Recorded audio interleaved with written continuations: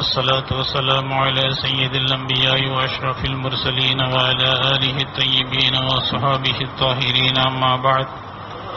فقد قال الله تعالى في محكم التنزيل وفي الفرقان الحميد أعوذ بالله من الشيطان الرجيم. بسم الله الرحمن الرحيم.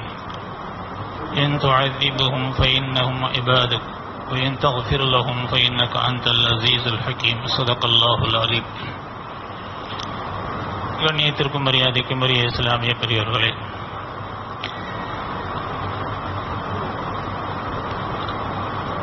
சூரத்துல் கஃப் சூரத்துல் மரியம் சூரத்து தாஹா என்று இன்று வரை ஓதப்பட்ட சூறாக்களில் மூசா அலி இஸ்லாம் அவருடைய சரித்திரத்தை அல்லாஹ் ஆங்காங்கே சொல்கின்றான்.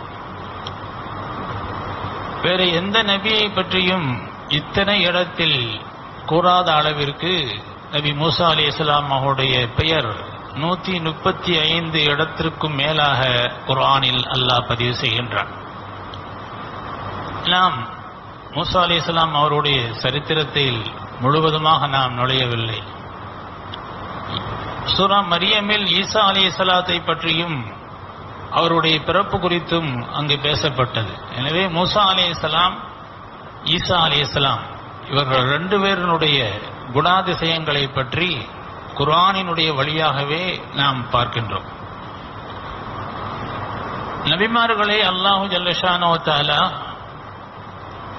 ஜலாலியத்தான சிபத்தை கொண்டு வெளியாக்கியிருக்கின்றான் சில நபிமார்களை. சில நபிமார்களை ஜமாலியத்தான சிபத்தை கொண்டு வெளியாக்கியிருக்கின்றான்.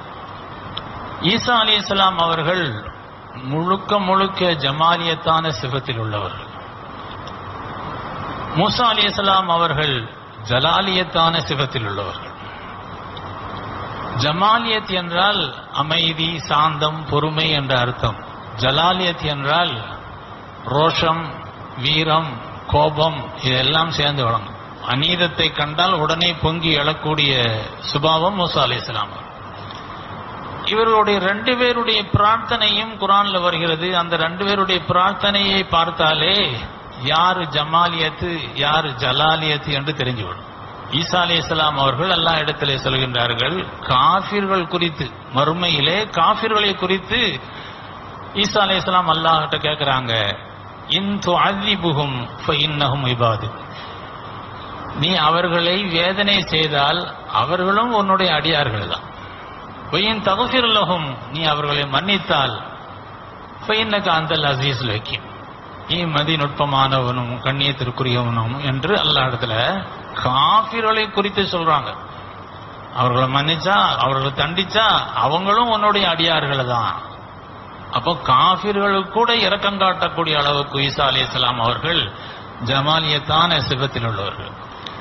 முப்பத்தி மூன்று வயசுல அவர்கள் வானிற்கு உயர்த்தப்பட்டிருக்கின்றார்கள். முப்பத்தி மூன்று வயசுல இப்படி ஒரு பற்றற்ற வாழ்க்கை முப்பத்தி மூன்று வயசு எவ்வளவு பெரிய வாலிபமான பருவம் அவ்வளவு பரிசுத்தமான பற்றற்ற வாழ்க்கையை வாழ்ந்து அவர்களுக்கு ஒரு சொந்த ஊடு கிடையாது ஈசா அலி இஸ்லாம் அவர்களுக்கு அப்படி ஒரு வாழ்க்கையை வாழ்ந்தார்கள்.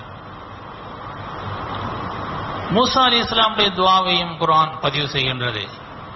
ஃபிராவுனுக்கு எதிராக அவர்கள் அல்லா இடத்துல கேட்கின்றார்கள். ரப்பனா திமிசாலா அம்வாலிஹிம் வஸ்துத் அலா குலூபியும் ஃபிராவுனுக்கு நீ ஆட்சி அதிகாரத்தை கொடுத்திருக்கின்றாய். அதை வச்சு அவன் அட்டோழியம் பண்ணிக்கிட்டு இருக்கின்றான். எனவே அதை அவனுடைய பொருளாதாரத்தை முடக்கு அவனுடைய ஆட்சி அதிகாரத்தை நிர்மூலமாக்கு அவருடைய இதயங்களை கடினமாக்கிவிடு என்று மூசா அலி இஸ்லாம் அவர்கள் ஃபிராவுனுக்கு எதிராக துவா. ஆக இந்த ரெண்டு துவாவிலையுமே நம்மளுக்கு தெரிஞ்சிடும் யாரு ஜலாலியத்து யாரு ஜமாலியத்து என்பதை நாம் பார்க்கின்றோம். இப்ப இன்று வரைக்கும் ஓதப்பட்ட வசனத்தில் மூசா அலி இஸ்லாம் அவர்கள் எத்தனை இடத்தில் அவர்கள் கோபப்பட்டிருக்கின்றார்கள் என்பதை பற்றி உண்டான ஒரு கண்ணோட்டம். ஆக நபியினுடைய கோபம் தவறானது அல்ல. அவர்கள் சரியத்திற்கு புறம்பான விஷயங்களை காணும் பொழுது அதை சமரசம் செய்து கொண்டிருக்க மாட்டார்கள். முதல்ல குரான் வழியாகவே அந்த வரிசையிலே பார்ப்போம்.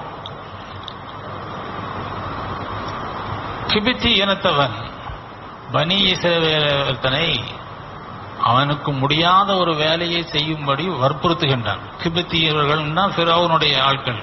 நம்ம எகிப்தியர்கள்ங்குவோம் அரபிகள் கிபித்தியர்கள்ங்குவாங்க. கிபித்தியர்கள் தான் எகிப்தியர்கள். எனவே தனக்கு அநீதம் செய்யப்படுவதற்கு எதிர்த்து மூசா அலிஸ்லாம் அவர்களை உதவிக்கு அழைத்தார்கள். அந்த பனீஸ்ரவேல் மூசா அலிஸ்லாம் அவர்கள் என்ன செஞ்சாங்க? போய் அந்த அநீதத்தை தட்டி கேட்டாங்க. அதாவது பேசி பார்த்தாங்க முடியல. ஓங்கி ஒரு அடி அடிச்சாங்க. ஃபவகஸஹு மூசா ஃபகலா அலை. ஒரே அடிதான் ஆல் க்ளோஸ். குரான் பேசு. ஃபவகஸஹு மூசா. ஒரு அடி தான் அடிச்சாங்க. அவ்வளவு பலம் வாய்ந்தவர்கள் மூசா அலைஹிஸ்ஸலாம் அவர்கள். ஆள் இறந்து போயிட்டாப்ல அப்ப அநீதத்தை கண்டு அதை சமரசம் செய்து கொண்டிருக்க மாட்டார்கள். அதுக்கப்புறம் எல்லா இடத்துல அவர்கள் மன்னிப்பு கேட்டார்கள். அல்லா அதை மன்னித்தான். கஃபர் அல்லஹு என்று வருகிறது. அதற்கு பின்பு மூசா அலி இஸ்லாம் அவர்கள் கடலை பிளந்து அல்லாஹ் தாலா இவ்வளவு பெரிய அத்தாட்சியை காட்டி கொண்டு கரை சேர்த்துட்டு போயிட்டு இருக்காங்க. அங்க போற வழியில மற்றவர்கள் வந்து சிலைகளை வணங்கி கொண்டிருக்கும் போது இந்த பனீஸ்ரவேலர்கள் மாதிரி அவர்களுக்கு அல்லாஹ் அருள் புரிந்த மாதிரி உலகத்துல வேற யாருக்கும் அருள் புரியல. அருள் மட்டுமல்ல அத்தாட்சி கண்கூடாக பார்த்த அதிசயங்கள்.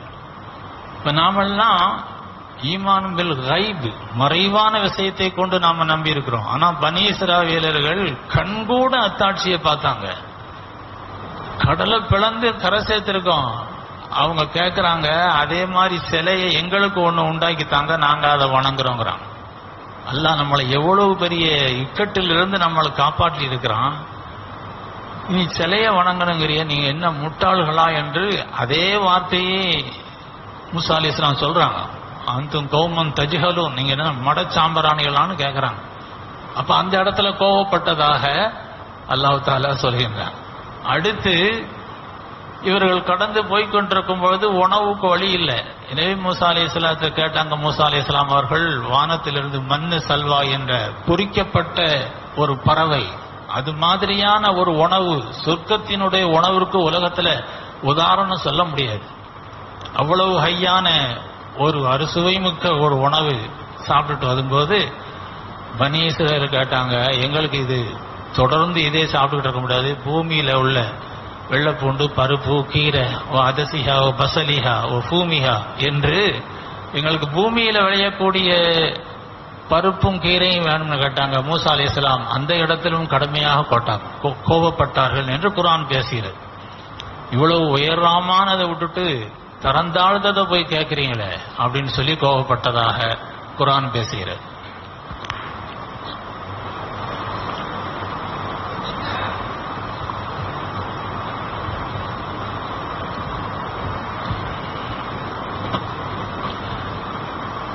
அதற்கடுத்து அல்லாஹாலாவிடம் வசனிப்பதற்காக தூர்சினா மலைக்கு அவர்கள் செல்ல இருக்கின்றார்கள். ஆறு லட்சம் பேர் பனிய இஸ்ரவேலர்கள். எனவே எல்லாத்தையும் அழைச்சிட்டு போக முடியாது. ஒரு எழுபது பேர் என்னோட வாங்கன்னு சொல்றாங்க. எழுபது பேரையும் அழைத்து கொண்டு போகின்றார்கள். அல்லாஹினுடைய சப்தம் மொழிக்கும் ஒலிக்கும் அப்பாற்பட்டது. இது அது தனி பாடம் அது. அல்லாவுடைய பேச்சு எப்படி இருக்கும்? அல்லாவுடைய பேச்சு காது மட்டும்தான் கேட்காது. உடல் முழுக்க கேட்கும். இது அல்லாஹ்வுடைய கலாமனுடைய சிபத். எனவே அது தனி பாடம். ஆக அல்லாவுடைய சப்தத்தை கேட்டார்கள். பனி இஸ்ரவேலரும் கேட்டாங்க. கேட்டுட்டு என்ன சொன்னாங்க? அரிநல்லாக ஜஹரத். அல்லாவை நாங்க பார்க்கணும்னா. அந்த இடத்துல அல்லாஹும் கோவப்பட்டார். மூசா அலிஸ்லாமும் கோவப்பட்டார். தூர்சினா மலையை அவங்க தலைக்கு மேல தூக்கி நிறுத்தியதாக குர்ஆன் பேசுகிறது. அப்போ எத்தனையோ அத்தாட்சிகளை கொடுத்து கூட அந்த பனீசர வேர்களுக்கு மூசா அலிஸ்லாம் தான் சரியான ஆள். அவ்வளவு இடுப்புகளும் சேட்டைகளும் செய்யக்கூடியவர்களாக அந்த பனீசிரவர் அந்த இடத்துல அவர்கள் மிகவும் கோவப்பட்டதாக குரான் பேசுகிறது. இதை முடிச்சுட்டு திருப்பி போறாங்க. அங்க இருக்கக்கூடிய மிச்ச கூட்டங்கள் சாமிரி என்பவன் அவங்கள்ட்ட இருக்கக்கூடிய தங்கத்தை எல்லாம் வாங்கி உருக்கி காலம் மாட்டை செய்து அதை வணங்க வச்சிட்டான். இவர்கள் அந்த ஊரை விட்டு கிளம்பும் போது நாங்க ஒரு விசேஷத்துக்கு போறோம்னு சொல்லி கிபித்திகளிடம் இருந்த தங்க நகைகளை இரவலாக வாங்கிக்கிட்டு தான் வெளியில வந்தாங்க. இவங்க வாங்கும் போதே இதை ஏமாத்தி நம்ம கொ- கொண்டு போயிடணுங்கிற எண்ணத்தோட வாங்கினாங்க. அப்போ ஒரு ஹராமான பொருள் அது திருப்பி கொடுக்க கூடாதுன்னு எண்ணம் இருக்கும் பொழுது அது எங்க போய் சேர்த்துறது என்றால் குஃபுர்ல போய் சேர்த்துறது என்று விளக்கம் எழுதுவார்கள். அதை பார்த்து மூசா அலைஹிஸ்ஸலாம் அவர்கள் தன்னுடைய சகோதரன் ஹாரூன் இஸ்லாம் மூசா அலைஹிஸ்ஸலாம் அவர்களுடைய மூன்று வயது மூத்தவர்கள். அவர்கள்தான் மூத்த சகோதரர். அவருடைய தாடியையும் தலையையும் பிடித்து இப்படி சிறுக்கு வச்சுக்கிட்டு இருக்காங்க இதை பார்த்துக்கிட்டு இருக்கிறீங்களேன்னு சொல்லி கோபப்பட்டதாக குர்ஆன் பேசுகிறது. லா தஹோது பில் வலா பிரஅசி இன்னி ஹஷீத் அன் தகூல ஃபர்ரக்த பைன பனி இஸ்ராயில். சகோதரனே என் தாயின் மகனே என்று அவர்கள் விழிக்கின்றார்கள். நான் கூப்பிட்டோம்னா ஒரு சில பேர் வந்துருவாங்க. ஒரு சில பேர் என்ன செஞ்சிருவாங்க? பிரிஞ்சிருவாங்க. அப்ப இது அவங்களுடைய கடவுள் இது மூசாவுடைய கடவுள்னு ரெண்டு பக்கமா கூட்ட பிரிஞ்சிடும் நீங்க வந்ததோடு அவர்களை ஒட்டுமொத்தமாக அழைக்க வேண்டும் என்று தான் நான் என்ன செஞ்சேன். தாமதித்திருந்தேன் என்று மூசா அலி இஸ்லாம் அவர்கள் அந்த இடத்தில் கோபப்பட்டதை குரான் பேசுகிறது. அதற்கு அடுத்து இதற்கு காரணமாக இருந்தவன் சாமிரி. அவனிடம் என்ன செய்தார்கள்? கோவப்பட்டார்கள். அந்த கூலலாம் மிசாஸ். அவர்கள் இது மாதிரி வேற எந்த நபியும் சபிச்சிருக்க மாட்டாங்க. ஒரு புதிய புதுமையான ஒரு சபித்தல். எப்படி என்றால் வஸ்வஸ் என்ன தொடாத என்ன தொடாதன்னு சொல்லுவாங்கல்ல அபச்சாரம்னு சொல்லுவாங்கல்ல இதெல்லாம் அந்த பரம்பரையிலிருந்து வந்ததுதான். எதை தொட்டாலும் என்ன தொடாத என்ன தொடாத என்ன தொடாதங்கிற மாதிரி நீ சொல்லுவ. அதுதான் உனக்குரிய சாபம். என்று முசாசலான் தக்கூல லா மிசாஸ். என்ன தொடாதான்னு நீ சொல்லுவ. அதுதான் அப்படின்னு படிச்சாங்க. அதுல இருந்து அவன் அதுலேயே என்ன செய்தான்? யாரும் அவனை தொட முடியாது யாரும் அவனோட பேச முடியாது யார் இருந்த இடத்துலயும் அவன் இருக்க மாட்டான். அப்படிப்பட்ட ஒரு மனநோய்க்கான பிரார்த்தனையை கோவப்பட்டு அவர்கள் சபித்ததாக வருகிறது. இறுதியாக ஃபிரௌனுடைய கோவப்பட்டார்கள் ஃபிரௌன் அழிந்த பிறகுதான் இது என்ன செய்து ஓஞ்சது. சூரத்துல் காஃபினுடைய இறுதி பகுதிக்கு ல ஹிதர் அலி இஸ்லாம் அவர்களும் மூசா அலி இஸ்லாம் அவர்களும் சந்திக்கக்கூடிய ஒரு இது. அவர்களிடமிருந்து ஞானத்தை படிப்பதற்காக அவர்கள் போகின்றார்கள். ஹிதர் அலி இஸ்லாம் ஒரு உடன்படிக்கை செய்யறாங்க நான் என்ன செய்தாலும் என்னிடத்தில் இதை ஏன் செய்தாய்? எதற்காக செய்தாய்? என்று கேட்கக்கூடாது. கல்வியை படிக்க வேண்டும் என்ற தாகத்தில் என்ன செய்யறாங்க எல்லாத்துக்கும் ஒப்புக்கொண்டு தான் போறாங்க. போகும் பொழுது ஒரு படகு தூரத்தில் செல்கின்றது அவர்களை உதவிக்கு அழைக்கின்றார்கள் எங்களையும் ஏத்திக்கிட்டு போங்கன்னு அந்த படகுக்காரர்களும் நின்று இரண்டு பேரையும் ஏத்திக்கிட்டு போறாங்க. முழுவதுமாக நாம் சொல்லாம சுருக்கமாவே சொல்றோம். அப்படி அவர்கள் இவர்களுக்கு உதவி செய்து அந்த படகை ஹிதர் அலையலாம் ஓட்ட போடுறாங்க. ஓட்ட போட்ட உடனே மூசா அலி இஸ்லாம் அவர்களுக்கு கோபம் பொத்துக்கிட்டு வருது. அவங்க நம்மளுக்கு உதவி செஞ்சிருக்காங்க. அந்த படகை போய் நீங்க ஓட்ட போடுறீங்களே? அப்படின்னு சொன்ன உடனே கதூராளி இஸ்லாம் சொன்னாங்க அலம் மக்குல்லக் நான் உனக்கு சொல்லலையா? நான் என்ன செய்தாலும் கேட்கக்கூடாதுன்னு சொல்லியிருக்கிறத அப்படின்னு சொன்ன நான் மறந்துட்டேன். இனிமே கேட்க மாட்டேன் அதற்கு அப்புறம் கரை சேர்ந்த பிறகு ஒன்றும் அறியாத ஒரு சிறு பாலகனை ஹிதர் அலி இஸ்லாமியர்கள் அல்லாவுடைய உத்தரவை கொண்டு அவர்களை கொலை செய்து விடுகின்றார்கள். களத்தை திருக்கி கொலை செய்து விடுகிறார்கள்.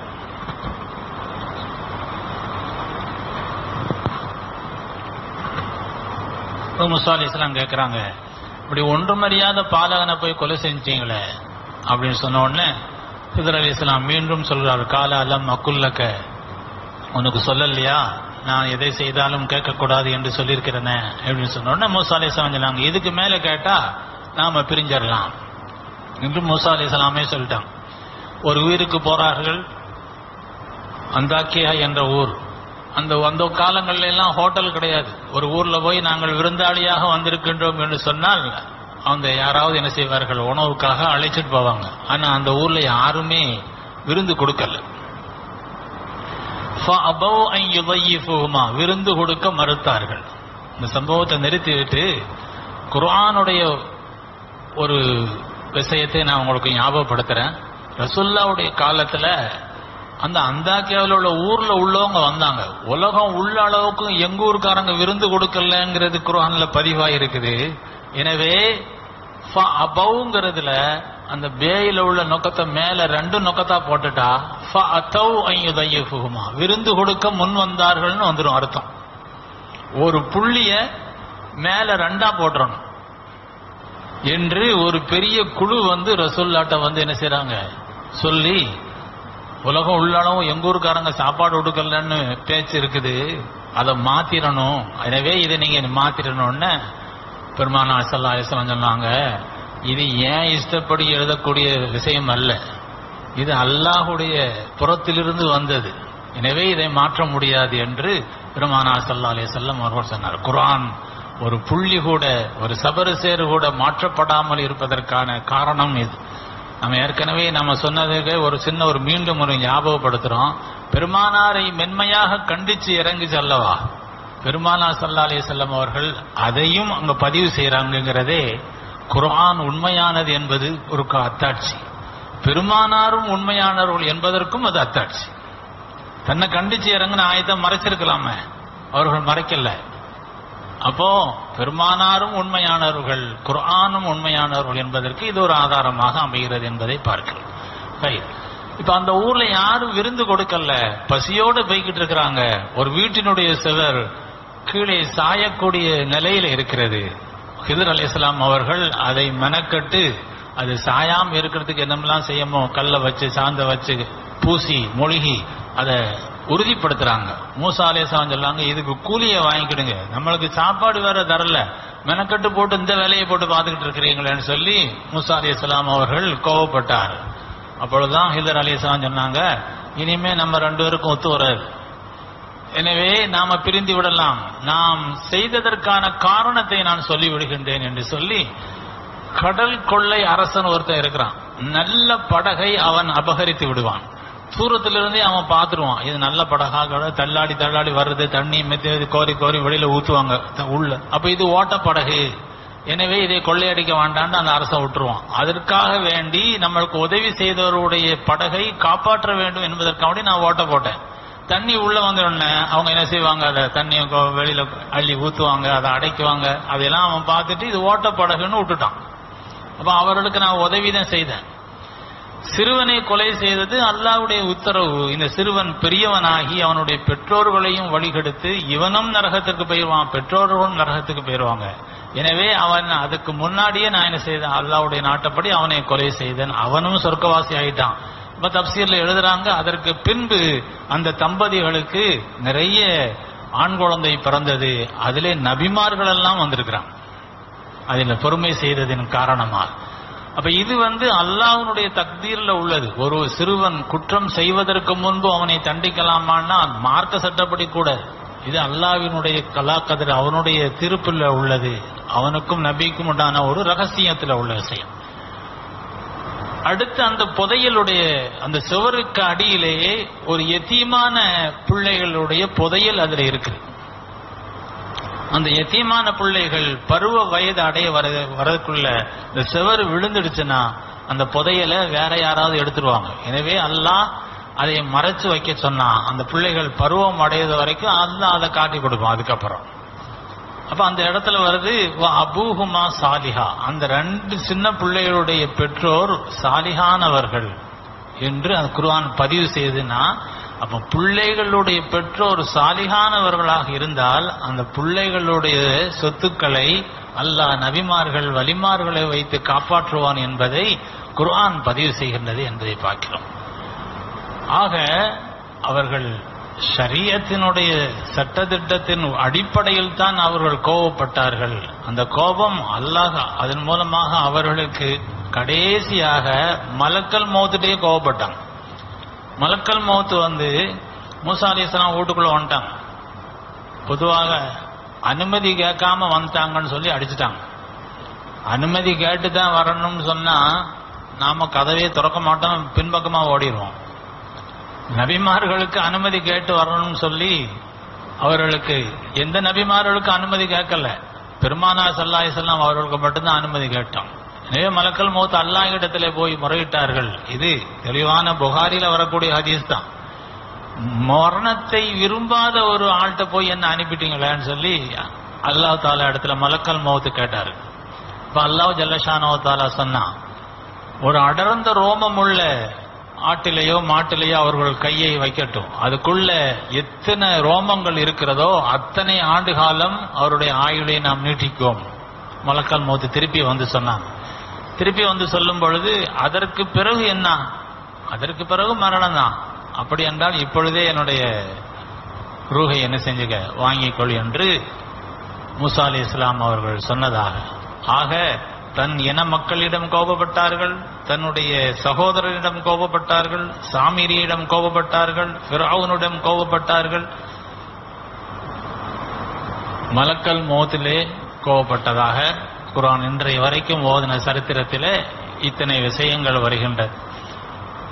அதற்கு பிறகுதான் அவர்களுக்கு ஏன் இந்த ஹிதர் அலி இஸ்லாம் மூசா அலி இஸ்லாம் சந்திப்பு நடந்தது என்றால் ஒரு கூட்டத்திலே இந்த உலகத்தில் இப்போதைய காலத்தில் யார் மிக்க அறிந்தவர் என்று மூசா அலி இஸ்லாத்திடம் கேட்ட பொழுது பொதுவாகவே ஒரு நபி வாழக்கூடிய காலத்தில் மிக்க அறிந்தவர் யாருன்னா நபி தான். அப்ப அதை அவர்கள் என்ன செஞ்சிருக்கணும் சொன்னா அல்லாவோடு இணைத்து சொல்லியிருக்கணும் நான் தான்ட்டாங்க அல்லாஹ் எனக்கு வழங்கிய அறிவின்படி அல்லது அல்லாஹு தாலாவுடைய அருளின் அருளினால் என்ற ஒரு வார்த்தையை சேர்த்து சொல்லியிருந்தால் அந்த வார்த்தையினுடைய மென்மை வேற மாதிரி இருக்கும். நான் தான் மிக்க அறிந்தவன் என்ற சொன்னதை அல்லாவுக்கு பிடிக்கல. ஏன்னா அல்லாஹ் தான் மிக்க அறிந்தவன். அவனுடைய இல்மு அவன் புறத்தில் இருந்து நமக்கு தரக்கூடிய இல்மு தான் இது. இது எல்லாமே ஒரு எல்லை தான். பார்வையும் ஒரு எல்லை கேள்வியும் ஒரு எல்லை பேச்சும் ஒரு எல்லை நம்முடைய அறிவும் ஒரு எல்லை தான். ஒரு எல்லைக்கு மேல அறிவு என்ன செய்ய முடியாது? அந்த அறிவை கொண்டு நாம் எதையும் செஞ்சிட முடியாது. அறிவு தான் தடைபடும் நம்மளுக்கு. அதனால தான் உங்களை விடவும் அறிந்தவர் இருக்கிறார் பாருங்கன்னு சொல்லி ஹிதர் அலி இஸ்லாம் அவர்களை சந்திக்க வைத்த இந்த உரையாடல்லாம் நடந்தது என்பதை நாம் பார்க்கின்றோம். ஆக ஒஃபோக்குள் இது இல்மின் அலீம். ஒவ்வொரு அறிஞனுக்கு மேலேயும் ஒரு அறிஞன் இருக்கின்றான் என்று குரான் சொல்கிறது. நாம தான் கெட்டிக்காரன்னு நினைக்க முடியாது எந்த விஷயத்திலையும். அதுக்கு மேல ஒருவன் உண்டு. அதற்கு மேல ஒருவன் உண்டு. படைக்கப்பட்டவைகள் இல்லை. ஆக ஒரு துறையில் நீ சிறந்தவனாக இருந்தால் வேற ஒரு துறையில் வேற ஒரு சிறந்தவனா இருக்கும். ஒரு பெரிய செய்கிட்டா கல்வி பற்கணும்னு வர்றார்.